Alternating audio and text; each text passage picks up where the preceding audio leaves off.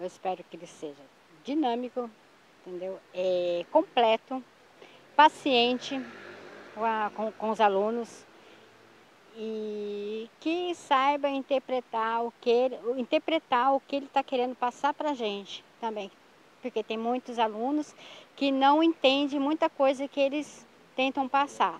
Bem, na verdade eu, eu, penso o seguinte, que o professor que dá aula, ele tem que ter umas sacadas bem modernas, tem que trazer uma linguagem bem fácil, é, que não canse o estudante, né? Porque já tem a questão de estar na frente do computador, que por estar na frente já, já é cansativo. E assim, ele tem que tentar trazer também é, a forma como ele vai ministrar a aula, que não seja uma coisa muito, muito padrão, que ele possa é, passar para o aluno que ele não está lendo um roteiro e que ele de fato está dominando determinado assunto.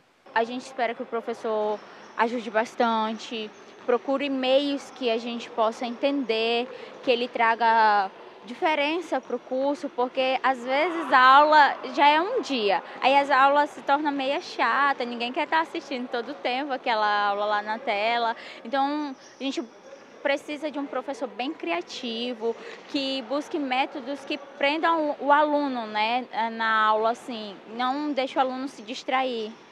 É isso que eu, acho, que eu espero do meu professor.